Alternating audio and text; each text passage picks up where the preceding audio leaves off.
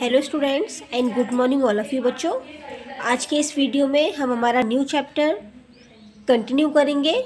हमारा chapter nine नन्हे प्रेरक। ओके स्टूडेंट्स नन्हे प्रेरक। यानी ऐसे नन्हे बच्चे, कम उम्र के बच्चे जो हमारे लिए प्रेरणा के स्रोत हैं, जिन्हें देखकर, जिन्हें सुनकर हमें हमारी लाइफ में प्रेरणा मिलेगी। पाठ की ओर शीर्षक पढ़कर अनुमान लगाइए। इस पाठ का नाम नन्हे प्रेरक क्यों रखा गया होगा? यह पाठ किस बारे में होगा? आओ पढ़ें।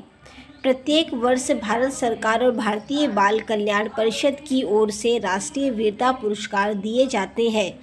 इसके लिए देश भर से अधिकतम 25 बच्चों को चुना जाता है, जो अपने साहस और बहादुरी से दूसरों के लिए प्रेरणा बने होते हैं।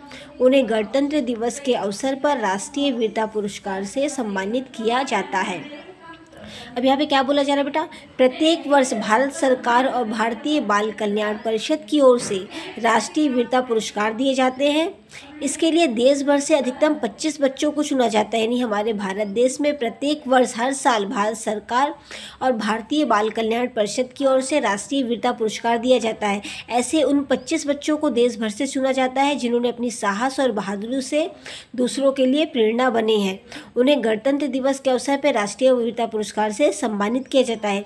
यानी ऐसे बच्चों को वीरता पुरस्कार दिया जाता है, जिन्होंने अपनी सूझबूझ, अपनी साहस और अपनी हिम्मत से न सिर्फ़ अपनी, बल्कि दूसरों की भी जान बचाई और कुछ ऐसे कारनामे किए जो हमारे लिए मतलब प्रेरणा के स्रोत हैं। ऐसे उन्हीं बच्चों को बच्चे, गणतंत्र दिवस के अवसर पर वीरता पुरस्कार से सम्मानित किया जाता है हमारी भारत सरकार की ओर से और भारतीय बाल कल्याण परिषद की ओर से।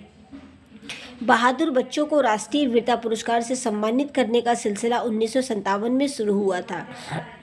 उन्नीस सौ सत्तावन में गांधी जयंती पर दिल्ली के रामलीला मैदान में आयोजित एक कार्यक्रम में प्रधानमंत्री पंडित जवाहरलाल नेहरू शामिल हुए थे। कार्यक्रम शुरू होने के बाद अचानक सामियाने में आग लग गई और उसमें तकरीबन सौ लोग फंस गए थे। तब चौदह वर्ष के बच्चे हरिश्चंद्र मेहरा ने समझदारी का परिचय देते हुए सामियाने के एक हिस्से को अपने चाकू से काट लिया, जिससे लोगों के निकलने का रास्ता बन सक, बन सका। हरिश्चंद्र की बहादुरी से प्रेरित page number thirty six open कीजिए बेटा। प्रेरित होकर पंडित नेहरू ने उसी तरह के दूसरे बच्चों को राष्ट्रीय वीरता पुरस्कार देने की घोषणा की थी। ओके स्टूडेंट्स सेकंड पैरा में बेटा हमने क्या पढ़ा? बहादुर बच्चों को राष्ट्रीय वीरता पुरस्कार से सम्मानित करने का सिलसिला उन्नीस सौ सत्तावन में शुरू हुआ था। यानी हमारे देश में यह सिलसिला जिसमें बहादुर बच्चों को सम्मानित किया जाए, यह राष्ट्रीय वीरता पुरस्कार सन उन्नीस सौ सत्तावन ईस्वी में शुरू हुआ था। उन्नीस सौ सत्तावन में गांधी जयंती पर दिल्ली के रामलीला मैदान में आयोजित एक कार्यक्रम में प्रधानमंत्री पंडित जवाहरलाल नेहरू शामिल हुए थे और कार्यक्रम शुरू होने के बाद ही अचानक सामियाने में आग लगी, यानी अचानक उस तंबू में आग लग गई और उसमें तकरीबन सौ लोग फंस गए, जिसमें एक चौदह वर्ष के बालक हरिचंद मेहरा ने समझदारी का परिचय देते हुए सामियाने के एक हिस्से को चाकू से काट दिया, जिससे लोगों के निकलने का रास्ता बन सका। हरिचंद की बहादुरी से प्रेरित होकर प्रेरित होकर पंडित नेहरू ने उसी तरह के दूसरे बच्चों को राष्ट्रीय वीरता पुरस्कार देने की घोषणा की। यानी उन्नीस सौ सत्तावन में हमारे देश में यह राष्ट्रीय वीरता पुरस्कार देने का सिलसिला शुरू हुआ था, क्योंकि पंडित जवाहरलाल नेहरू बेटा उस समय एक सामियाने में शामिल हुए थे और अचानक उस सामियाने में आग लग गई, जिसमें सौ लोग थे। वहाँ पर एक हरिश्चंद नाम का एक बालक था, चौदह वर्ष का, जिसने अपनी सूझबूझ का परिचय देते हुए अपनी चाकू से उस सामियाने के एक हिस्से को काट दिया। तब जाके पंडित नेहरू ने उसी तरह के दूसरे बच्चों को राष्ट्रीय वीरता पुरस्कार देने की घोषणा की थी। इन पुरस्कारों में पदक प्रमाण पत्र और नगद पुरस्कार शामिल होते हैं। इसके अलावा सरकार की ओर से हर बच्चे की पढ़ाई में मदद की जाती है। भारतीय बाल कल्याण परिषद के अनुसार अब तक लगभग एक हज़ार बहादुर बच्चों को राष्ट्रीय वीरता पुरस्कार से सम्मानित किया जा चुका है, जिनमें तैंतीस प्रतिशत लड़कियाँ शामिल हैं। अब इन पुरस्कारों में पदक प्रमाण पत्र और नगद पुरस्कार सम्मिलित होते हैं। पदक यानी हमको जो दिए जाते हैं प्रमाण पत्र जो सर्टिफिकेट दी जाती है आपको, और नगद पुरस्कार यानी कैश जो दिया जाता है मनी दी जाती है। इसके अलावा सरकार की ओर से हर बच्चे की पढ़ाई में मदद की जाती है। भारतीय बाल कल्याण परिषद के अनुसार अब तक लगभग एक हज़ार बहादुर बच्चों को राष्ट्रीय वीरता पुरस्कार से सम्मानित किया जा चुका है, जिनमें तैंतीस प्रतिशत लड़कियाँ शामिल हैं। यानी बाहर भारतीय बाल कल्याण परिषद की ओर से अब तक एक हज़ार बहादुर बच्चों को राष्ट्रीय वीरता पुरस्कार से सम्मानित किया जा चुका है, जिसमें तैंतीस प्रतिशत तो लड़कियाँ शामिल हैं। यहाँ कुछ ऐसे ही बहादुर बच्चों से संबंधित कुछ समाचार दिए गए हैं, जो समाचार पत्रों में छपे थे। इन समाचारों को पढ़कर आप कुछ साहसी बच्चों के किस्से जानेंगे, जिन्होंने अपने साहस, संयम और सूझबूझ के दम पर कई जिंदगियाँ बचाई। गणतंत्र दिवस पर राजधानी दिल्ली में हुए समारोह में इन बच्चों को राष्ट्रीय वीरता पुरस्कार से सम्मानित किया गया। अब यहाँ कुछ ऐसे ही बहादुर बच्चों से संबंधित कुछ समाचार दिए गए हैं, जो समाचार पत्रों में छपे थे। इन समाचारों को पढ़कर आपको साहसी बहादुर बच्चों के बारे में जान सकोगे, जिन्होंने अपने साहस, संयम संयम यानी धीरज और सूझबूझ के दम पर कई जिंदगियाँ बचाई। गणतंत्र दिवस पर राजधानी दिल्ली में हुए समारोह में इन बच्चों को राष्ट्रीय वीरता पुरस्कार से सम्मानित किया गया। पहले बच्चे के बारे में पढ़ेंगे बेटा हम। अर्जुन ने माँ को बचाया बाघ से। यानी ये न्यूज़पेपर में घटनाएँ छपी है, जिनके बारे में हम आज पढ़ रहे हैं। उत्तराखंड, या उत्तराखंड देहरादून की बात है, जुलाई। एक बाघ उत्तराखंड में रहने वाले सोलह वर्षीय अर्जुन के घर में घुस आया। घर में बाघ को देखकर अर्जुन की माँ बेहोश हो गई। पर ऐसी स्थिति में अर्जुन ने समझदारी और सूझबूझ से काम लिया। वह कमरे में गया और एक हसुआ ले आया चूँकि दूर से बाघ को दिखाने और डराने के लिए हसुआ छोटा था, इसलिए उसने डंडे की मदद से हसुआ बाघ की ओर किया। ऐसा करने से बाघ उसकी माँ के पास नहीं जा पाया। ऐसा अर्जुन ने तब तक किया जब तक कि बाकी के गाँव वाले वहाँ पर नहीं आ गए। लोगों की भीड़ से वहाँ बाघ वहाँ से भाग गया। अर्जुन की इस बहादुरी के लिए उसे संजय चोपड़ा अवार्ड दिया गया। जब अर्जुन ने इस बारे में बात की तो उसने बताया कि उस वक्त उसे केवल अपनी माँ को बाघ से बचाने का ख्याल था। बाघ से डरने के बारे में उसने सोचा ही नहीं था। यानी देखिए, यहाँ पर न्यूज़पेपर में क्या छपा, एक सोलह वर्षीय अर्जुन ने अपनी माँ को बचाया बेटा। किससे बचाया? बाघ से। वह बाघ उसके घर में घुस गया। वह चाहता तो डर जाता क्योंकि उसी बाघ को देखकर उसकी माँ वहाँ पर बेहोश हो जाती है। लेकिन अर्जुन उस बाघ से डरा नहीं, बल्कि उसने अपनी सूझबूझ और समझदारी से अपनी माँ को बचाया। नेक्स्ट बेटा रुचिता ने सबसे कम उम्र में जीता पुरस्कार। यह बात तेलंगाना, हैदराबाद की है। तेलंगाना की आठ वर्षीय शिवमपेट रुचिता ने अपने विद्यालय के दो विद्यार्थियों के एक बस ट्रेन दुर्घटना में जान बचाई। बस से विद्यालय जाते हुए उसने देखा कि एक रेल तेज गति से उनकी बस की ओर आ रही है। अपने साहस और समझदारी का परिचय देते हुए उसने दो विद्यार्थियों को बस की खिड़की से बाहर पहुँचा दिया और खुद भी खिड़की से कूद गई। दुर्भाग्यवश वह बस में आगे की सीट पर बैठी थी। अपनी छोटी बहन को नहीं बचा पाई। साथ ही बस चालक कंडक्टर और सोलह विद्यार्थियों को इस हादसे में अपनी जान गंवानी पड़ी। रुचिता को भी इस दुर्घटना में गंभीर चोटें आई। रुचिता के इस साहस और बहादुरी के लिए उसे गीता चोपड़ा अवार्ड दिया गया। अब यहाँ पर हम क्या देखते हैं, बेटा? रुचिता जो आठ वर्षीय बालिका है, उसने एक ट्रेन दुर्घटना में अपने, बस दुर्घटना में दो विद्यार्थियों की जान बचाई, बेटा। यानी ट्रेन आ रही थी। ट्रेन तेज गति से सामने की ओर आ रही थी। तो उसने क्या किया? बस की खिड़की से दो विद्यार्थियों को बाहर फेंक दिया और खुद भी बाहर कूद गई। अब हम देखेंगे यहाँ पर आग में कूदकर बचाई भाई की जान। यह बात मेघालय की है। तेरह वर्ष की अंजालिका के घर में आग लग गई थी और घर में उसके माता पिता नहीं थे।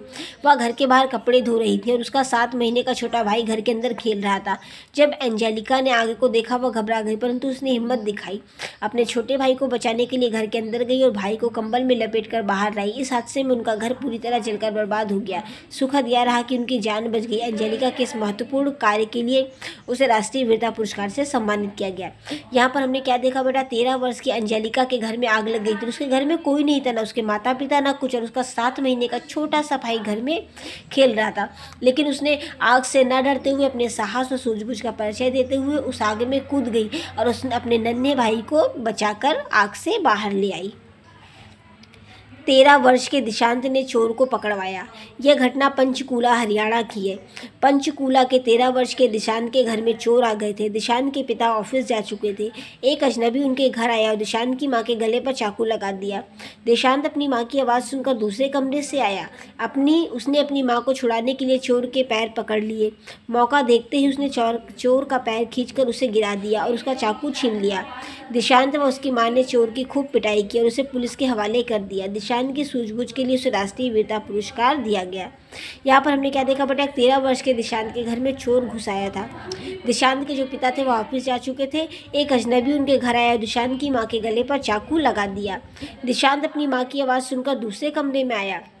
उसने अपनी माँ को छुड़ाने के लिए चोर के पैर पकड़ लिए। मौका देखते ही उसने चो, चोर का पैर खींचकर उसे गिरा दिया और उसका चाकू छीन लिया। दिशांत व उसकी माँ ने चोर की खूब पिटाई की और उसे पुलिस के हवाले कर दिया। दिशांत की सूझबूझ के लिए उसे राष्ट्रीय वीरता पुरस्कार दिया गया। Page number thirty eight